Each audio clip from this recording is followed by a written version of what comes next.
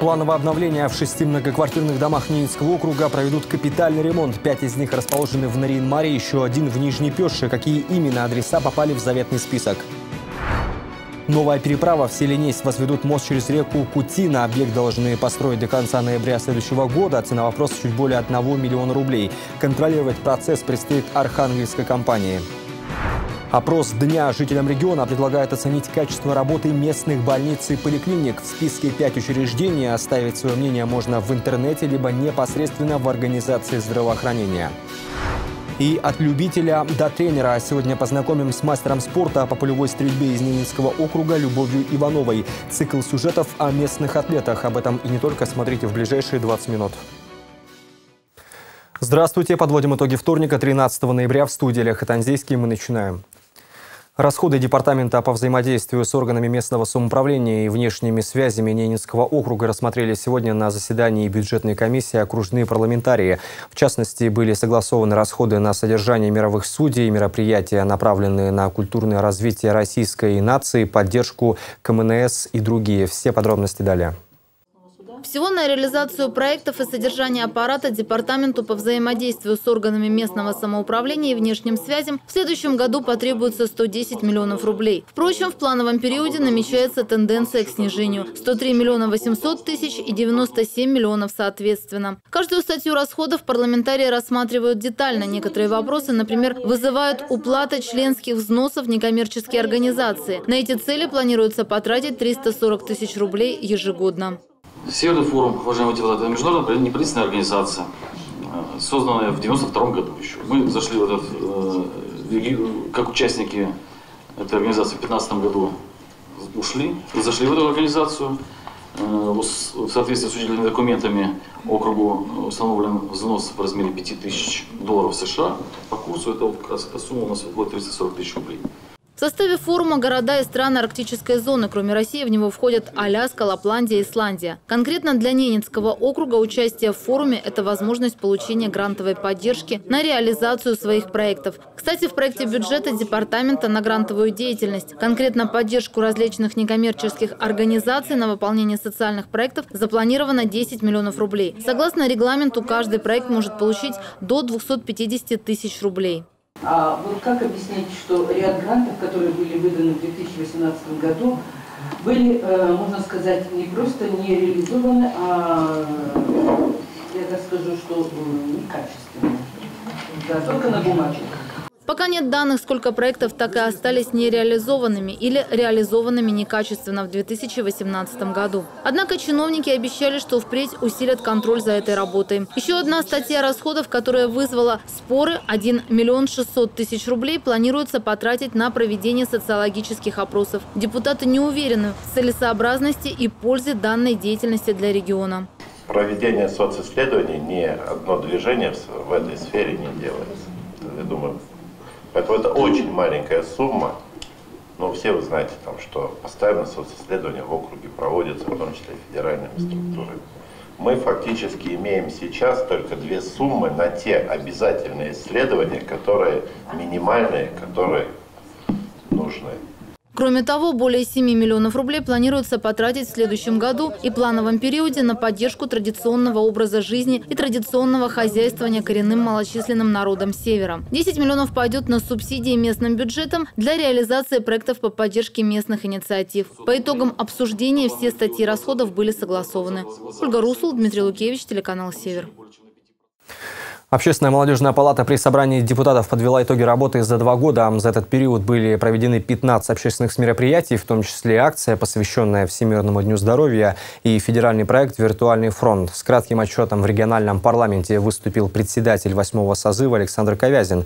В своем докладе председатель молодежного парламента рассказал о нормативно-правовой деятельности, об итогах общественного обсуждения ряда окружных законов, в частности, о студенческих отрядах в Ненецком округе и о государственной молодежной молодежной политики. Предложения палаты были рассмотрены и учтены при принятии данных законов. Помимо этого состоялась межрегиональная конференция «Молодежь и общество. Время перемен» и первые молодежные парламентские слушания. Итогом слушания стала резолюция с предложениями по совершенствованию молодежной политики, направленная в адрес молодежного парламента при Государственной Думе Федерального собрания Российской Федерации.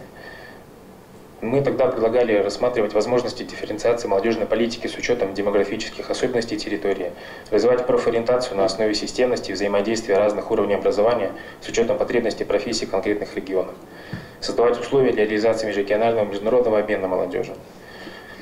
В целях развития арктических территорий Российской Федерации было предложено сформировать дифференцированное направление молодежной политики, которое бы учитывало особенности арктических регионов и отражало бы стратегию развития арктической зоны Российской Федерации и обеспечения национальной безопасности на период до 2020 года, утвержденным президентом. Молодыми парламентариями разработано более 12 законодательных инициатив. В три окружных закона были внесены поправки. Кроме того, члены палаты принимают активное участие в социальных проектах. Например, это федеральный проект «Виртуальный фронт». Целью проекта стало наполнение часто используемой интернет-ресурсов Википедия полноценной и правдивой информацией о достижениях и подвигах российского народа. За период действия проектов, э, благодаря э, активной работе э, координаторов было написано и выложено в Википедию более 100 статей, включающих в том числе информацию по истории именно Ненецкого автономного округа. Спикер регионального парламента Александр Лутовинов поблагодарил представителей молодежной палаты восьмого созыва за конструктивное сотрудничество с депутатским корпусом, а также вручил благодарности окружного собрания за развитие молодежного парламентаризма в Ненецком округе. В настоящее время идет формирование девятого состава общественной молодежной палаты при региональном парламенте.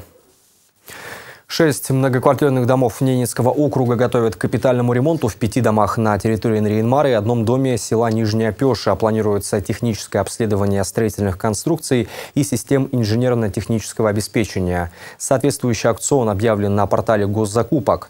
В частности, для многоквартирного дома номер 6 по улице 60 лет октября предстоит разработать проектную документацию на выполнение капитального ремонта внутридомовой инженерной системы теплоснабжения. Для дома номер 7А по улице Строительная проектную документацию для капитального ремонта фундаментов, замены и утепления цокольного перекрытия по улице Меньшикова для дома номер 11. Предлагается разработка проектной документации по капитальному ремонту крыши, внутридомовой инженерной системы электроснабжения, газоснабжения, теплоснабжения, а также холодного и горячего водоснабжения и водоотведения. На той же улице в доме номер 15 планируется капитальный ремонт крыши, а в доме номер 12 корпуса, крыши и чердачного перекрытия. В селе Нижний Нижняя Пеша по адресу улица Советская, дом номер 31, будет определено техническое состояние выгребных ям и разработана проектная документация по их капитальному ремонту. Строительным контролем по возведению моста через реку Кутина в селе Несь займется организация «Архангельский энергетический аудит». Работы обойдутся бюджету в сумму более 1 миллиона рублей и завершатся не позднее 30 ноября следующего года.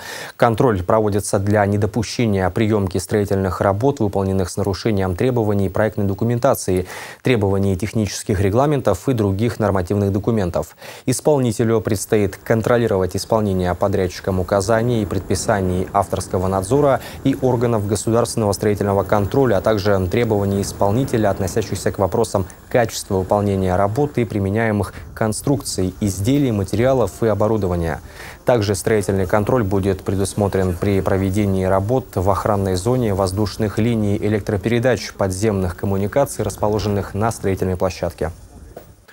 В регионе тем временем продолжается убойная кампания. На днях к ней присоединились еще два сельхозкооператива. Это Ерф и Красный Октябрь. Таким образом, заготовку оленины сейчас осуществляет 17 СПК. Остальные хозяйства планируют приступить к убойной кампании в течение ноября и начале декабря. Данные сроки связаны с неустойчивой погодой, которая наблюдается на территории Ненецкого округа. Между тем, по информации Департамента природных ресурсов, экологии АПК, на убой в общей сложности направлено порядка 6,5 тысяч голов оленей. Уже произведено 180 185 тысяч э, тонн мяса. Что касается переработки свежего сырья, то, как рассказала генеральный директор акционерного общества мясопродукты Тамара Крицкая, закупка компании оленины должна начаться ориентировочно в конце ноября. Всего же, по словам руководителя предприятия, во время нынешней кампании по убою северных оленей мясопродукты планируют закупить 984 тонны оленины. В прошлом сезоне хозяйствами на предприятие было сдано 795 тонн сырья. Более пяти с половиной тысяч пациентов принял передвижной медицинский отряд Ненецкого округа в 2018 году. Как рассказал руководитель мобильной медбригады Иван Пантелеев, начиная с января текущего года группа из 11 медиков уже побывала в 32 населенных пунктах региона.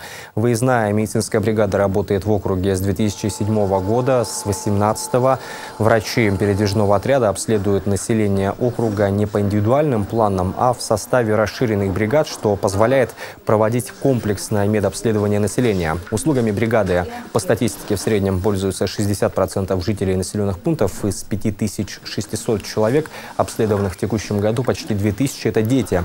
23 ноября бригада прибудет в Тошвиску, затем с 22 по 29 ноября медики продолжат свою работу в Усть-Каре, а с 5 по 14 декабря будут в Харивере. Жители округа могут оценить качество работы учреждений здравоохранения. Независимую оценку проводит Министерство здравоохранения России. Перечень медицинских организаций, подлежащих такой оценке в регионе в 2018 году, утвержден общественным советом при профильном департаменте. В этот список вошли пять учреждений и частных клиник на территории округа. В частности, жителям региона в текущем году предлагается оценить качество оказания услуг в поликлиниках Ненецкой окружной больницы, а также работу женской консультации этого же учреждения учреждения, отделения переливания крови и скорой медицинской помощи. Независимую оценку проходят также Мненецкая стоматологическая поликлиника, Центральная районная поликлиника, а также частные клиники стоматология Федорова и Заполярный медицинский центр, то есть Сановита. Работу учреждения оценивают пациенты, заполняя интерактивную анкету, размещенную на официальных сайтах Минздрава России, Департамента здравоохранения, труда и социальной защиты населения, а также во всех медицинских организациях, участвующих участвующих в реализации программы государственных гарантий бесплатного оказания гражданам медицинской помощи на территории округа. Такая же анкета на бумажном носителе может быть заполнена непосредственно в медицинской организации. В отдаленные населенные пункты округа началась доставка новогодних подарков. Они закуплены за счет окружного бюджета и уже завезены в пять отдаленных муниципалитетов региона. Новогодний груз еще для трех западных поселений округа готов к отправке и находится в аэропорту. Как сообщили директор комплексного центра социального обслуживания населения Светлана Хатанзийская, все новогодние подарки должны быть доставлены в село округа Инринмар до 6 декабря. В окружную столицу первая партия подарков будет завезена ориентировочно 26 ноября. Такой срок обозначен в контракте. Наборы будут распределяться в декабре через э, учреждения образования на новогодних праздничных мероприятиях, а также через комплексный центр соци социального обслуживания и администрации муниципальных образований. Контракт исполняет компания из Иванова. Его сумма составила 4 миллиона 808 тысяч рублей. Каждый новогодний подарок составлен из кондитерского набора весом не менее 1 килограмма из сувенира. Подарок упакуют в жесткую коробку с новогодней символикой. Всего в 2018 году закуплено более 7,5 тысяч подарочных наборов. И в завершении выпуска наши коллеги с телеканала «Россия-1» на Рейнмар запустили цикл сюжетов о мастерах спорта в Ненецком округе. Героиней первого такого материала стала Любовь Иванова. Вот уже 8 лет она занимается пулевой стрельбой. Все это время девушка не только показывает хорошие результаты на различных соревнованиях, но уже и сама тренирует начинающих спортсменов в детско-юношеском центре «Лидер». Все подробности в материале Ивана Кутейникова. Ей всего 20, она уже не просто спортсменка, а еще и тренер по пулевой стрельбе. За плечами множество побед, причем не только на региональном уровне. Но несмотря на такие успехи, голову девушки это не вскружило. Да и результаты хорошие появились далеко не сразу. Дюслидер Любовь пришла в 12-летнем возрасте. Конкуренция среди девочек была серьезная. Было ощущение, что надо этого догнать, это перегнать, там заработать, там получить. Ну, нет, были провалы, это естественно, у всех были провалы, были слезы на рубеже, все было. Так что как-то пережила. У меня был такой же результат, как и у обычных новичков. А дальше это было только зависело от желаний и от э, стремления. Постепенно спортивный азарт и желание развиваться стали приносить свои плоды. Первые победы, первые выезды за пределы округа. Совсем скоро на региональном уровне Любовь выиграла все, что только возможно. А сейчас продолжает успешно защищать звание чемпионки Заполярья. Помогает в первую очередь выдержка. С опытом она научилась подходить к огневому рубежу, что называется, с холодной головой. Ты уже не первый раз выходишь, ты не первый раз стреляешь. И по ощущениям ты должен знать просто, готов ты или нет. И работать не на результаты, а просто на, на качество стрельбы. Не обращать внимания, кто стоит рядом. не обращать внимания на шум, адаптироваться и сосредоточиться на соревнованиях. Некоторые смотрят, допустим, в протокол и видят, сколько там было мастеров, сколько там было КМСов, а я такой-то, такой-то, я не смогу. Зачем тогда смотреть? Совсем недавно Любовь вернулась с всероссийских соревнований, которые состоялись в Иркуте. И вновь не с пустыми руками. В одном зачете она стала победительницей, в другом завоевала второе место. И это несмотря на не самую качественную организацию турнира. Соперников там было, правда, немного. Условия были ужасные. Там был зал, холодное помещение, все замерзали, тренера ходили в куртках, пальцы просто каменели.